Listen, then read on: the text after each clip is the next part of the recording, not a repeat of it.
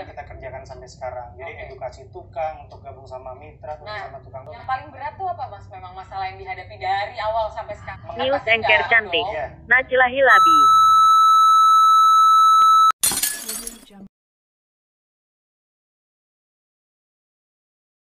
kita kerjakan sampai sekarang. Jadi Oke. edukasi tukang untuk gabung sama mitra, Nah, sama tukang yang dokter. paling berat tuh apa mas memang masalah yang dihadapi dari awal sampai sekarang kan pasti nggak Iya, gampang dong Iya. Buat si mitra-mitra kita ini percaya untuk pakai aplikasi tukang.com. oke Dari sisi mitra, dari sisi customer eh, membuat si customer itu percaya untuk pakai aplikasi tukang.com. ya Ya, udah sebelumnya ya karena kita kan kalau orang begitu dia bayar barangnya belum ada. Kalau di tempat lain beli barang 100 juta udah ada, misalnya beli mobil, beli motor udah ada motornya dua misalnya kan. Mesinnya ini kalau di tukang.com kan tanahnya masih kosong dibayar.